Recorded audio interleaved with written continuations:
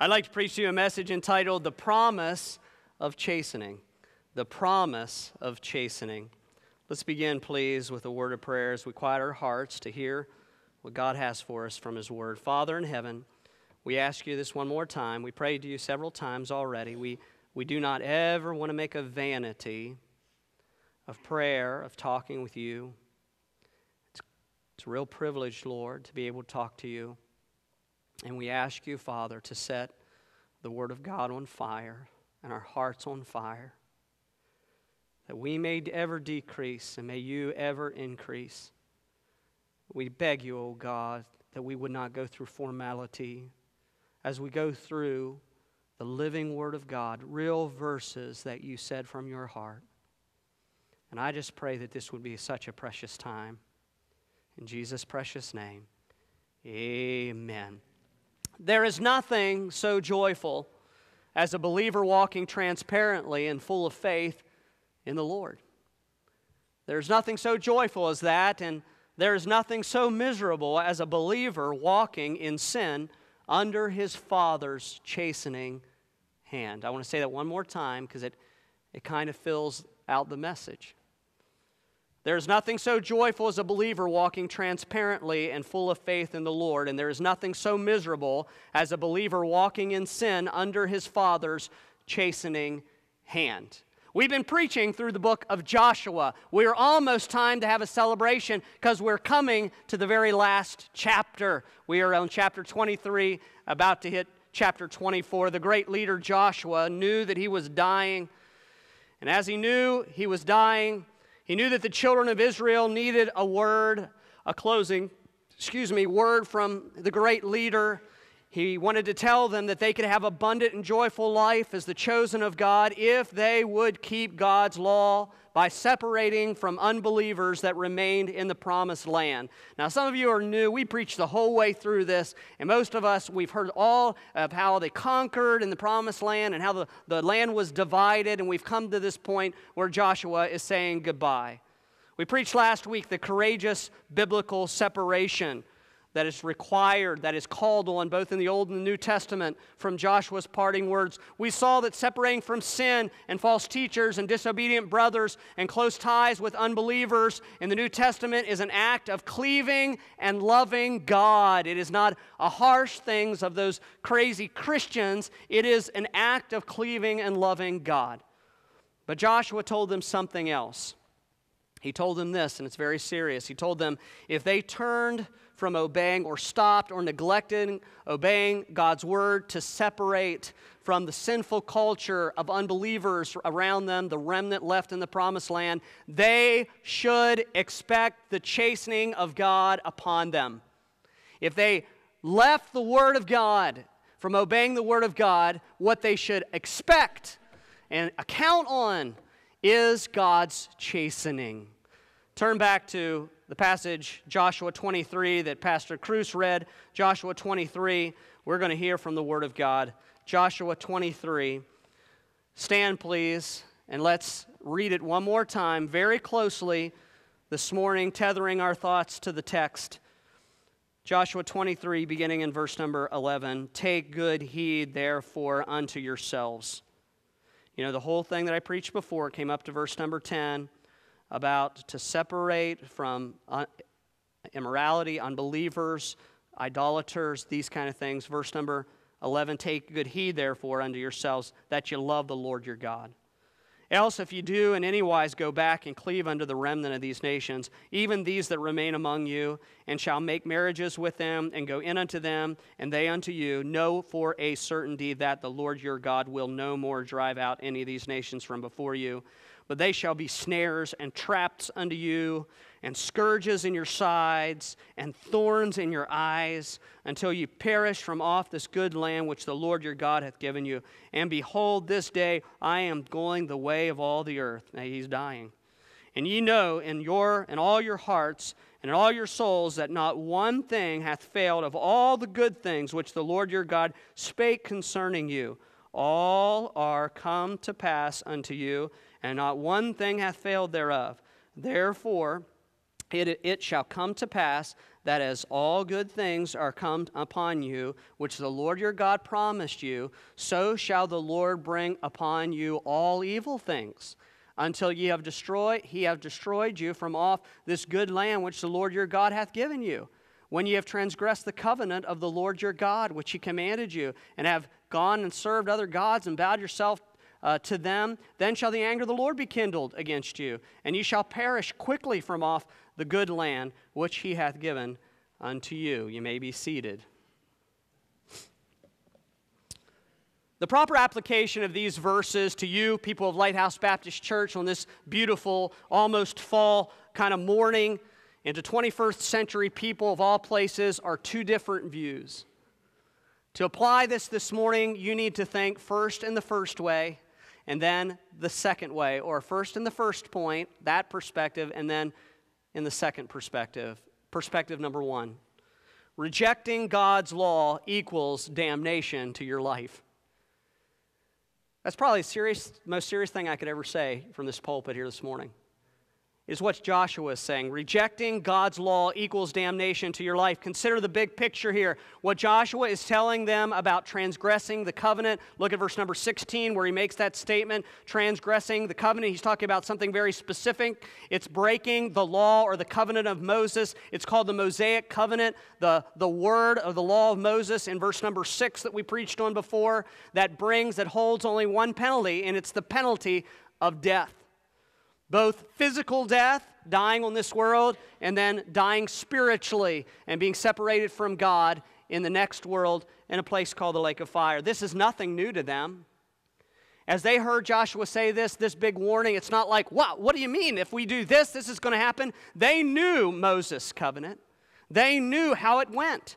Keep all the law or perish. I mean, that's, you know, that's just pretty rough stuff. Keep all the law or perish. Listen, as it is originally given in Deuteronomy chapter 30, listen how amazingly straightforward and how harsh, and you might want to say, or how clear this is to these people. See, I have set before you, this is Deuteronomy 30, 15. I just want to quote it as the Mosaic law was first given. See, I have set before you this day life and good, and death and evil in that I command you this day to love the Lord thy God, to walk in his ways, to keep his commandments and his statutes and judgments, that thou mayest live and multiply.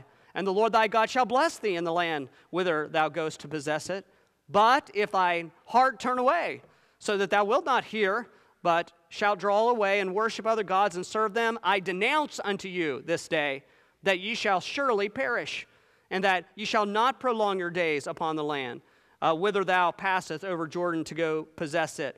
I call heaven and earth to rec- record this day against you that I've set before you life and death, blessing and cursing. Therefore, choose life that both thou and thy seed may live. That's what the Mosaic covenant sounded like. Keep the law or perish. What Joshua is promising them is repeated. Look in your Bible at, at our text in verse 13, the word perish. In verse 14, the word destroyed. In verse 16, the promise of perishing is that the penalty for breaking God's law is the judgment of death. It wasn't only that they would lose the land. When I first studied this and I first read this, I, th- I, really thought what God was saying was that, you know, if you, if you intermingle among the sinful people and the other gods or whatever, you're going to lose the land. And I knew that God was in the future going to give it back to Israel. He's still going to give it back to Israel. all the promises to Israel are true and will come to pass. Stand with Israel. You'll be good. I say that all the time. Just want to remind you. But that's not what it's saying. It's not just that they were going to lose the land, they were going to lose their souls. He is saying, You reject my laws, you're going to perish. You're going to lose your souls. You lose your lives first and then your souls. Damnation is the word. Folks, listen, this harsh penalty of disobeying God's commandments and command is still the case. And the reason why Israel and why each person in this room desperately needs Jesus Christ. It is still the case that you break God's law and you perish. Realistically, it is not possible to keep God's law because we were born by nature as sinners. What God is giving them, I want to be very clear about this. God has bigger wisdom than we have. What God is giving them is an impossible task.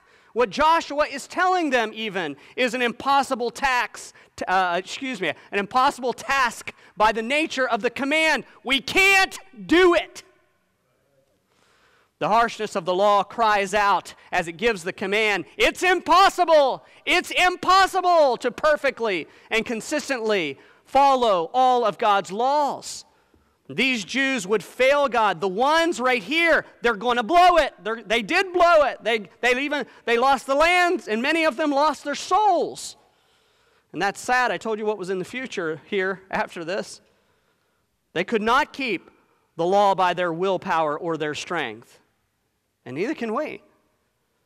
They needed a substitute who would keep the law for them, someone who was strong enough and perfect enough to keep the law for them. Someone who would forgive all their violations against the law and cast those violations out of the way. Someone who would actually come inside of them to indwell them, to make them righteous from their hearts on the inside and help them and give them strength to be righteous from their heart. They needed a substitute. They could not carry out what Joshua was telling them.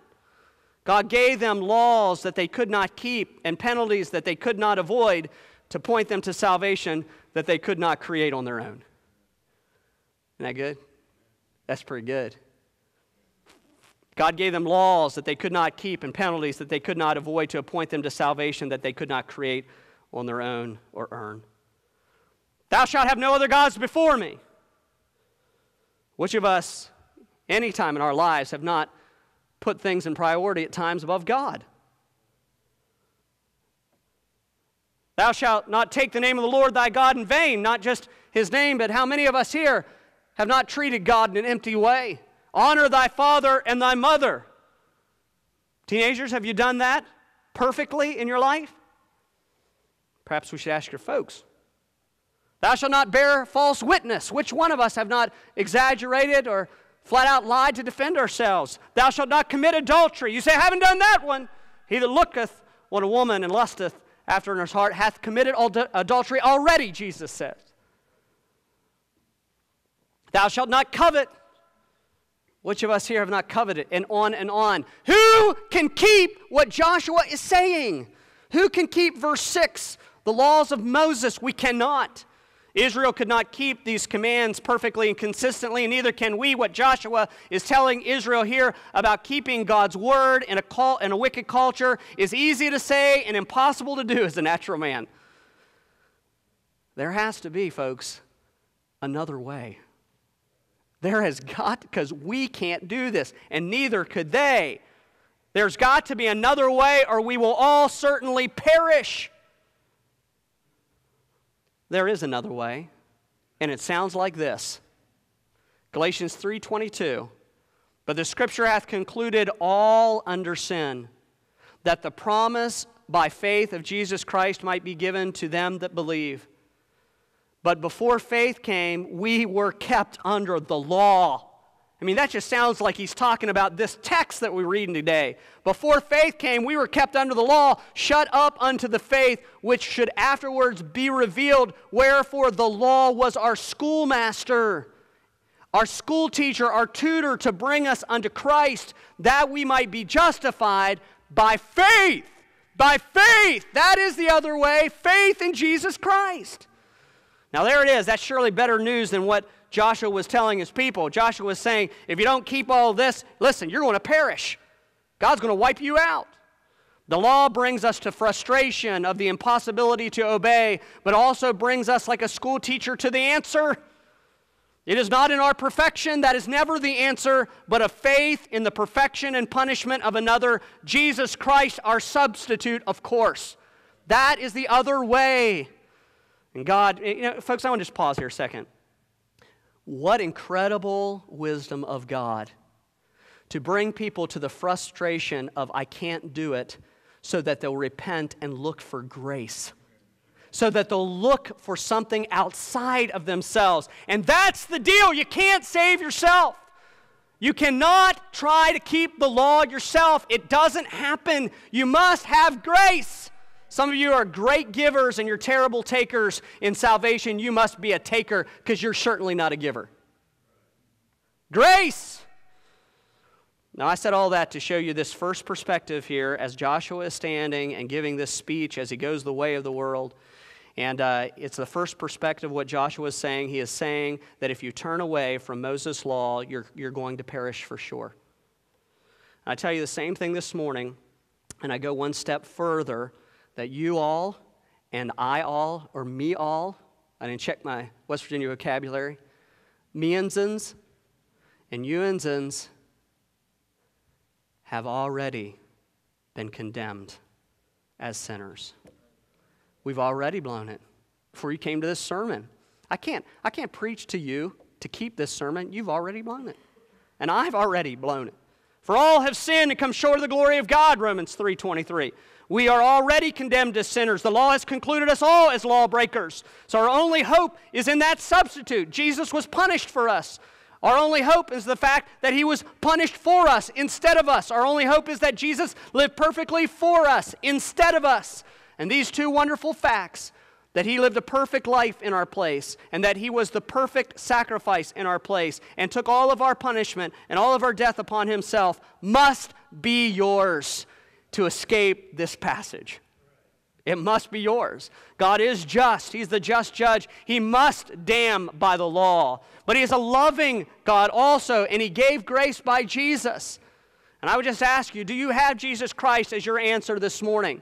Do you have the other way, or are you still trying to plow it out to impress God? My friend, nobody impresses God. He's perfect. You know, you're, you're going to waste a lot of time doing that. You are going to really spin your wheels, and it's only going to end up in your own damnation. You need something outside of yourself. You need Jesus Christ. And you can receive him right now by simple faith, just simple believing what I've told you in his cross, his substitutionary cross that he died in your place for your penalty. By his resurrection, he came and he, he came up from the grave and give you a new life. And putting your faith and trust in him right now by simple faith of calling out and ask, asking him to save you right now. You can do that right now in your heart, right where you're sitting. Right now. Lord Jesus, save me. I need, I need something outside of myself. Save me. Call that out from the heart. It's a one time decision uh, where, you, where you believe what God has provided by grace and you accept Jesus Christ, and you're never the same. He will regenerate you, make you born again right now, right now, right now. You don't have to perish. There's most definitely then another perspective in the text. Okay, that's the first perspective. I mean, that's the straight off first generation what he was saying to them. But there is definitely a second application of this part of Joshua's speech, and it is to God's people who have already put their trust in Jesus Christ as their Savior. And here is what it sounds like. Number two living in willful sin will bring your Father's chastisement. Living in willful sin will assuredly bring your Father's chastisement. Think through this passage again, okay? Change gears, all right? Reset. Second perspective of this passage. Second application, here it is. He speaks of loving and cleaving to God. Look at the Bible in verse number 8. You see there, but cleave to the Lord your God. In verse number 11, Take heed, therefore, unto yourselves that ye love the Lord your God. He speaks of a different perspective here, and that is a personal perspective of possession of God. He opened the chapter assuring them that God was their God, but that he is, and he's ending the, the passage by saying, if you turn away from God's word, you're going to be chastened sure of it, sorely of it. All right? He is coming from the perspective then of people who have God, like you most of you are on Christ the solid rock. If you are, say, Amen.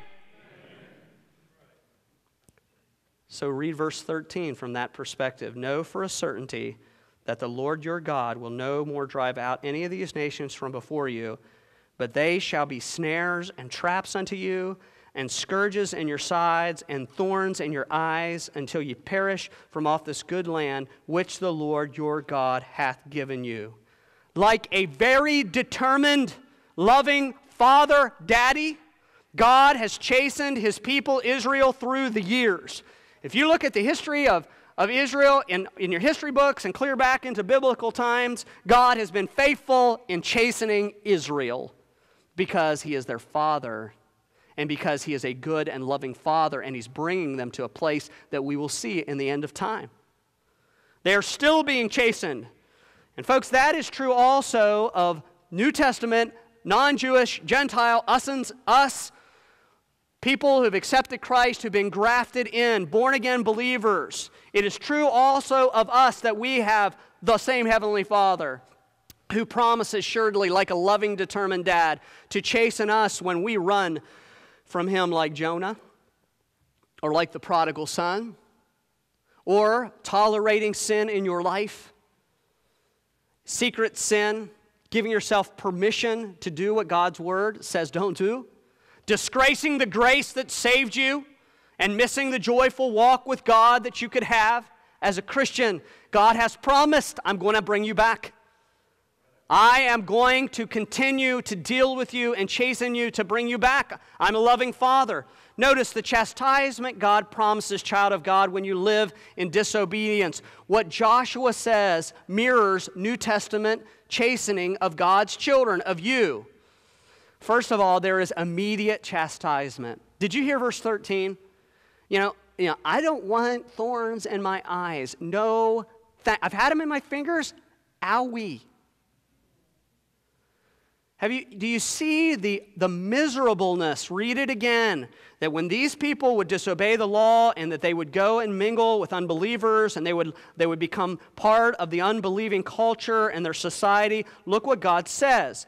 Know for certainty that the Lord your God will no more drive out any of these nations from before you, but they shall be snares and traps unto you and scourges in your sides. That's a whip scourging your side, and thorns in your eyes, until you perish from off this good land which the Lord your God hath given you. That's miserable stuff.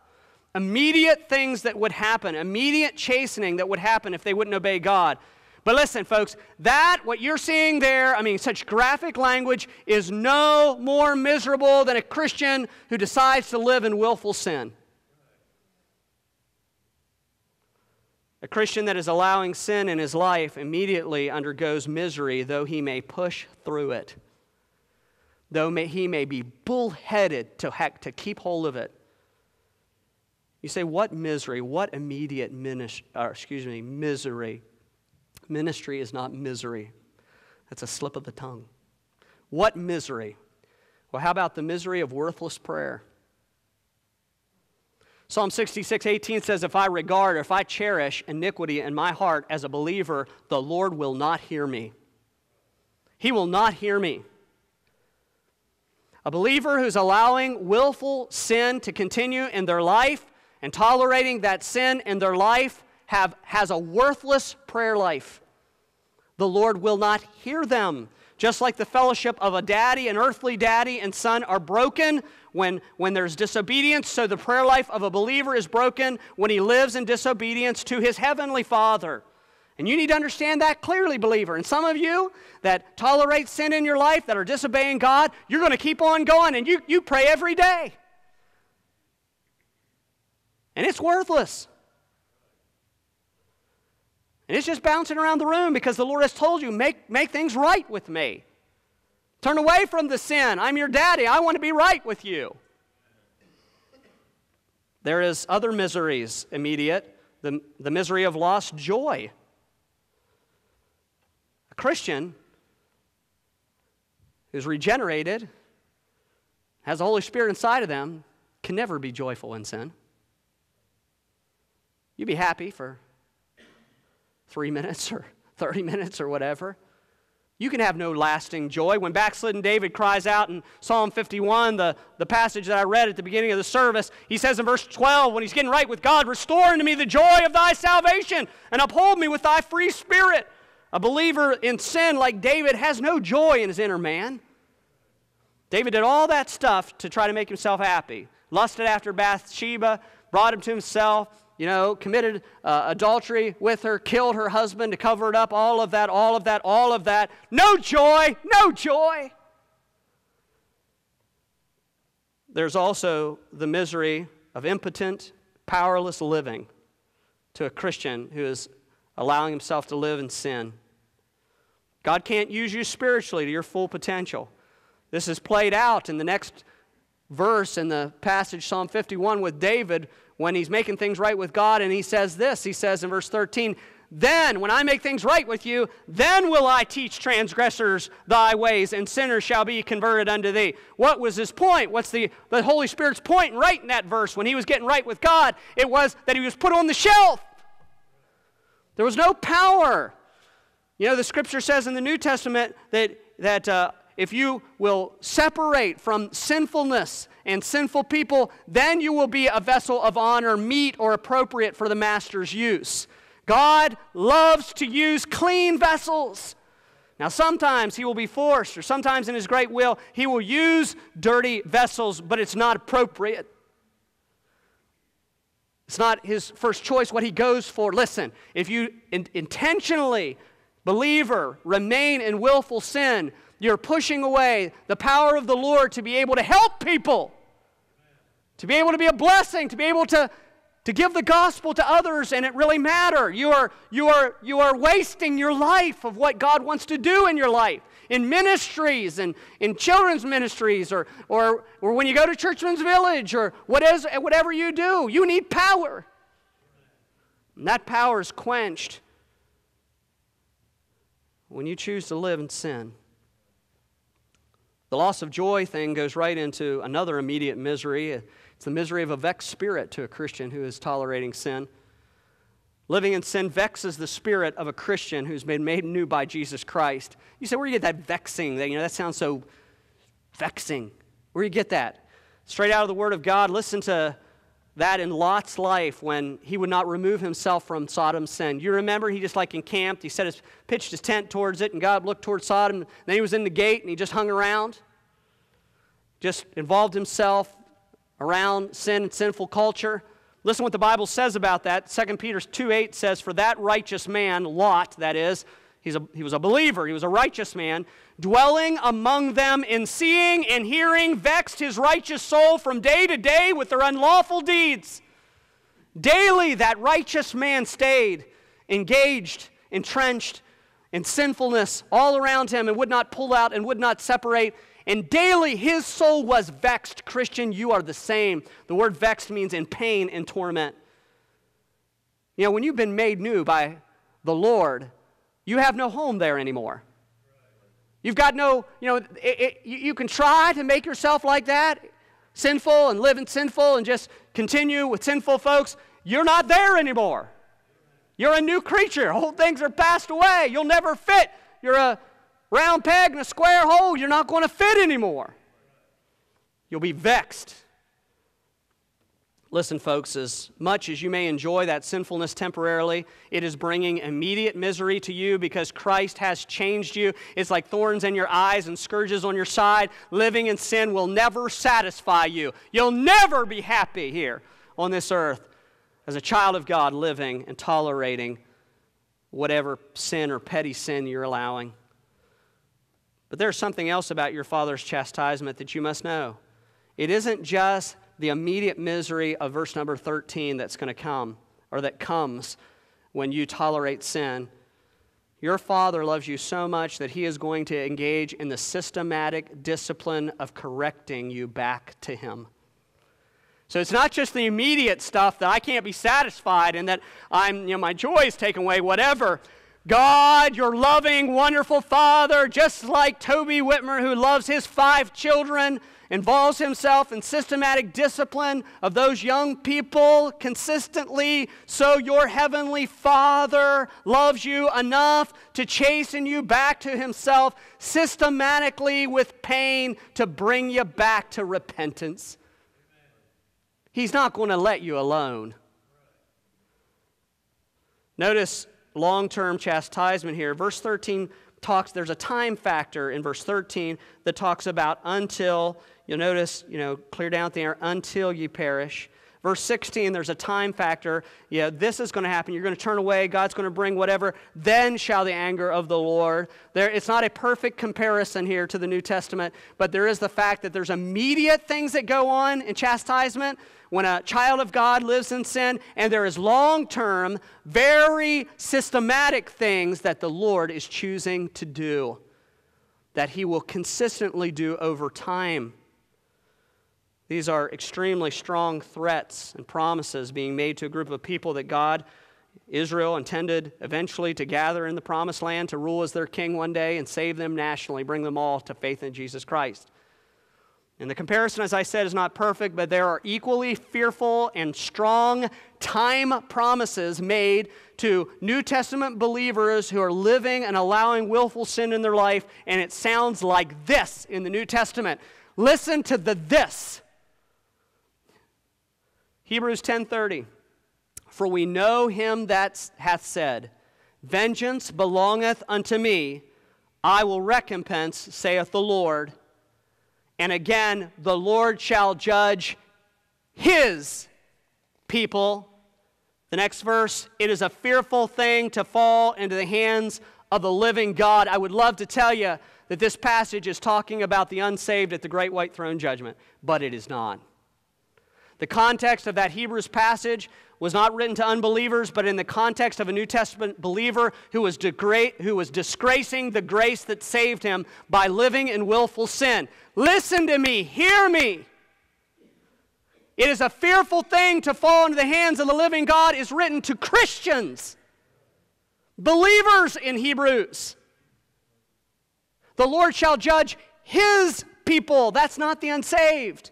Vengeance is mine, I will repay, is not talking about some enemy of God. It's talking about the friends and the daughters and the sons of God in that passage. That's strong. Many believers are living without any fear of the chastening promises of their Father God. You allow the same kind of sins on a daily basis without repentance and without any fear. You think there is no retribution. You think that, oh, well, I'm under grace, it gives me the liberty of sin. Listen, grace never compels somebody to sin. Grace always cries to the liberty of righteousness. It always pushes you towards purity and holiness. Grace always will. And there is a great apathy among God's people. I'm not just talking about this, this church, I'm talking about greater Christianity as well, and I'm talking to this church where we do have we have no fear of disobeying God in our Christian lives. We have no fear of just allowing things that we, we can take. We can turn ourselves to passages in the New Testament and show you where it's wrong, yet we tolerate in our families. We tolerate in our personal lives and in our secret lives. It is mirrored here in the, the speech of Joshua. We love to think about God's mercy and grace, and we like to smile about His goodness and His provision. We love to count on these things. But, brothers and sisters, we need to count on something else. We need to count on God's chastening. This exact thought of what I just said is 14 and 15 in your text about counting on the good things and excusing the fact that chastening will come. Look at how Joshua says it, verse 14. And behold, this day I am going the way of all the earth, and ye know, here it is, in all your hearts and in all your souls, that not one thing hath failed of all the good things which the Lord your God has concerned you concerning you. And all of them said, Yep, that's right. All those good things he said came to pass. All are come to pass unto you, and not one thing hath failed thereof. Therefore it shall come to pass that as all good things are come upon you, which the Lord your God promised you, so shall the Lord bring upon you all evil things. Now look here. You love to be a Christian who's under grace. And you love all the promises of God.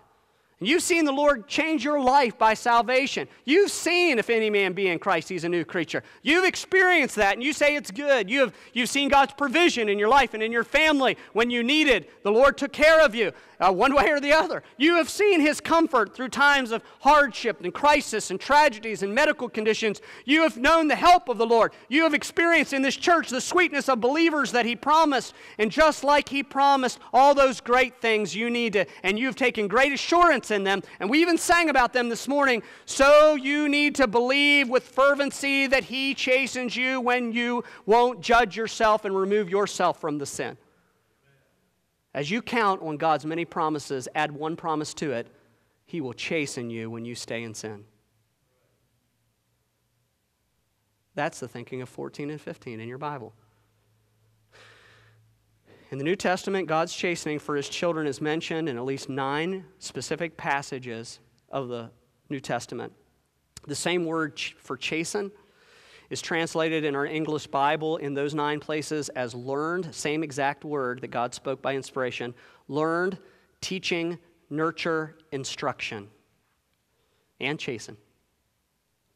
Chastening is always viewed in the realm of child rearing.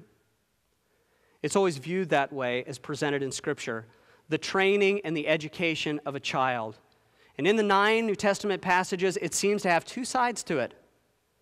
And one of them is the consistent daily side of instructing and educating your child. But the other side to the same word is the corrective side of discipline. That is not punitive for the sake of pain, but rather painful for the sake of change in the child's life. Let me say that again. It's not, it's not punitive for the sake of pain. It's not with the idea that God is, you're doing something and boom, God wants to bring you pain. But it is painful for the sake of you changing and you uh, being restored to fellowship with God and restored to walking in, in righteousness. Loving fathers chasten their children.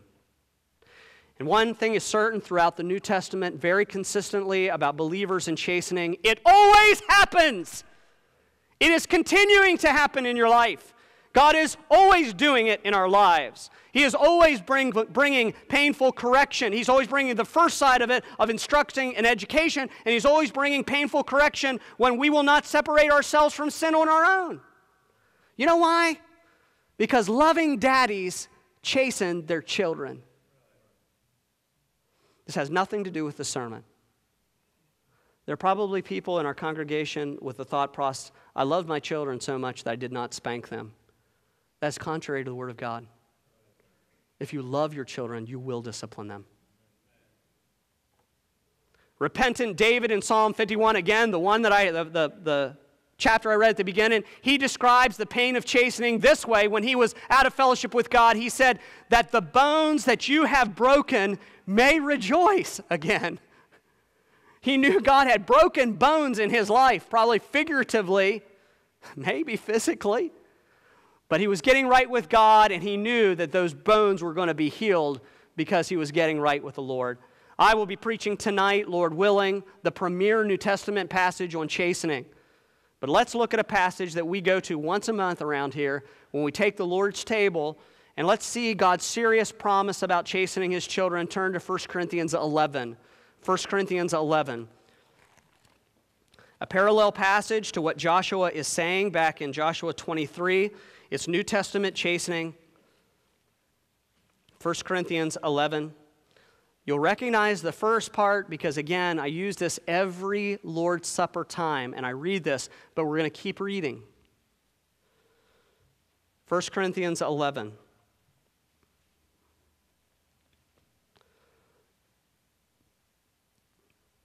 Verse 23 says, For I have received of the Lord that which I also delivered unto you that the Lord Jesus, the same night in which he was betrayed, took bread. Verse 24, 1 Corinthians 11. And when he had given thanks, he brake it and said, Take, eat, this is my body, which is broken for you. This do in remembrance of me. After the same manner also he took the cup when he had supped, saying, This cup is the New Testament in my blood. This do ye as oft as I drink it, or as ye drink it, in remembrance of me. For as often as you eat this bread and drink this cup, ye do show or proclaim the Lord's death till he come. Wherefore, whosoever, verse 27, shall eat this bread and drink this cup of the Lord unworthily, or in an unworthy manner or fashion, shall be guilty of the body and blood of the Lord. Now, this is talking about a believer. But let a man examine himself, and so let him eat of that bread and drink of that cup. For he that eateth and drinketh unworthily eateth and drinketh damnation to himself judgment to himself, not discerning the Lord's body. For this cause many are weak and sickly among you, and many sleep. For if we would judge ourselves, we should not be judged. But when we are judged, we are chastened of the Lord, that we should not be condemned with the world. That is a serious passage, and frankly, verse number 30 For this cause, many are weak and sickly among you, and many sleep, should make every Christian in the room shudder. Listen, folks, God is real. And God's word is real. We're not playing a game here. You know, let your faith rise to believe the word of God about this thing, about chastening of God's children. It was the first, this passage was the present report. Verse 30 was a present report of why people in their congregation in Corinth were, were weak. The word means feeble in, in any way, in various ways, whether it be emotionally or whether it be through their career situations or whatever it be, weak in some way, why they were sick and why they had died prematurely. It wasn't rampant meningitis or whatever the immediate. Uh, symptom or the immediate result or what they said. It was that the Lord was working. The reason was that they had gone a period of time living in an unworthy lifestyle. This is a, a disgraceful, sinful, disgracing lifestyle found in verse number 21 and 22. And they had taken the Lord's table, eating and drinking in a way of, of sinfulness, and they had brought to themselves according to the scripture their damnation, verse number 25. Really, the word uh, is should be translated judgment. It's not talking about hell damnation. That's obvious because it's talking to Christians. It's talking about they had eaten to themselves judgment upon them, and so the Lord chastened them. Listen to me. This fear of this passage and knowledge of this passage is why some of you don't take the Lord's Supper on a monthly basis. And you're half right. But the teaching here is not just a superstitious fear for the elements that we put, the bread and the juice that we put on the table to keep you from being chastised, the idea of just avoiding those elements and so you avoid the chastening. It is the fact that these group of people had gone for a period of time tolerating sinfulness in their life. The Lord's Supper was just highlighting that the sinfulness in these believers' life does not look like the perfect blood and bread of the Lord Jesus Christ and body. It didn't look like it, it was an affront to it, it was a disgrace to that. You're not living like your salvation. It wasn't the elements that were judging the people, it was the fact that they were continuing a period of time without being right with the Lord, of allowing sin in their life, knowledge. To him that knoweth to do good and doeth it not, to him it is sin. You are no longer a natural man. You are a new creation and you have new power to live righteously. You can yield your members as instruments of righteousness, Romans says. Listen, folks, you can skip the Lord's Supper all you want to, and God still promises that chastening will come to his children that he loves. look how strong the chastening here in the passage.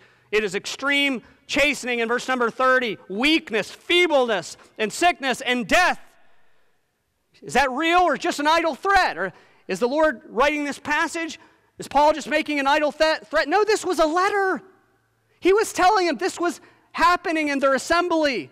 And he was probably most of them just identified it as, you know, viruses and things that were going on or whatever. He's saying, he's saying, please be understand that some of the reason for the weaknesses in your congregation, the, the people, the children of God there, some of the re- reasons for the sickness, some of the reasons for the death are people are living in continual sin before their Heavenly Father. The verse is identifying the cause because likely they did not suspect that reason. There are many reasons for pain and sickness and feebleness and death in people's lives. Please understand this is no witch hunt. But we need to understand that living in continual sin is one of those reasons. It is real. Verse 30 is real. And God is still doing it in Christians' lives and still doing it in the church. It is not for us to witch, witch hunt God's chastening or present verdicts or, or brother so and so, it's obvious there must be sin in his life. No, that's wrong. You look at yourself. Don't ever let that be heard around here, that kind of stuff. But it is for you to know, individual believer, about yourself that it certainly happens and it still happens consistently because God is a consistent disciplinarian. He, is a consi- he continues to love you and wants to bring you back into perfect, transparent walk with Him. You say, Pastor, you're trying to scare us. Absolutely. Because I know that this verse is true, and it's true for us today. Just like then, it is the reason that many painful things of all types happens to believers, even death. God uses a multitude of painful ways to chasten his children. He doesn't hold himself to a certain way to bring the chastening. He even says in the word of God that the goodness of God leadeth thee to, to repentance. He may chasten you by bringing a bunch of good things in your life until it breaks you in understanding how good your God is and you return to him. He can do whatever he wants to, but please understand God's chastening is complex and it is sure and it is happening in you. Notice an amazing truth in verse number 31. It was the joy of my life a few years ago when I really understood what it said in verse 31 For if we would judge ourselves, we should not be judged, or we would not be judged. There are believers here in this room who you walk close with the Lord, and I say, Praise the Lord for you. You wonder why you can't identify God's painful chastening in your life. And the reason is that you are a self judger and praise the Lord for it. This is a good way to self judge yourself. God does not have to judge you if you will judge yourself, this verse says. You fear God. You immediately seek restitution with God when you fall into sin. You immediately amputate sinful temptations. You do not allow sin to continue in your life on a daily basis. You quickly return to fellowship with the Lord when you have failed Him. You are truly repentant, and He doesn't need to chasten you. It's verse number 31. You are self judging, and that's a good thing. But there are believers here who are not repentant, who have a passe view of allowing sin in your life. And maybe you compare your, your, yourself to some other Christian who is doing the same things. That is a very poor comparison. Compare yourself to the Scripture. You're complacent in your sin. You return to the same continuing sin day by day, though you know it is wrong. You tolerate the same vexing. You walk without joy. You let the things come into your eye gates and your ear gates and your touching that disgraces grace.